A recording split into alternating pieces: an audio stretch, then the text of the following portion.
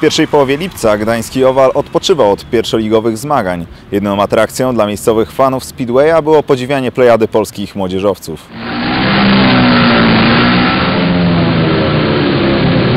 1 lipca przy Długich Ogrodach swoich sił próbowali czołowi juniorzy kraju podczas finałowego starcia młodzieżowych Mistrzostw Polski Park Klubowych. Zgodnie z wcześniejszymi prognozami zwyciężyli bracia Pawliccy, reprezentujący barwy nowo powstałego WTS Nice Warszawa.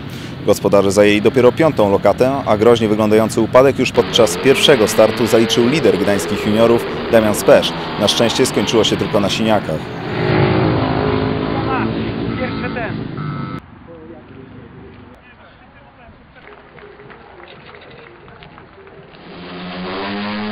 W sobotę 9 lipca odbyło się zaległe spotkanie 12 kolejki pierwszej ligi pomiędzy miejscowym Orłem Łódź a gdańskim Wybrzeżem.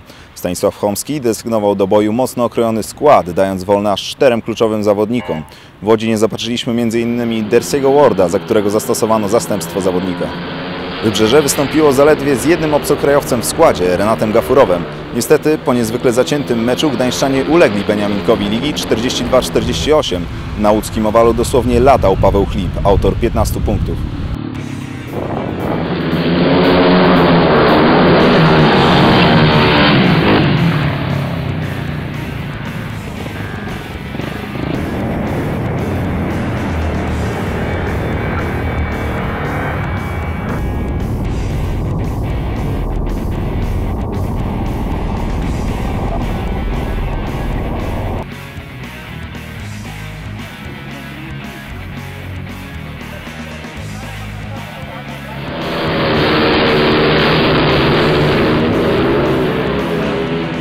Dla sympatyków czarnego sportu z Grodu Neptuna był to jedynie przedsmak emocji, które czekają nas 17 lipca.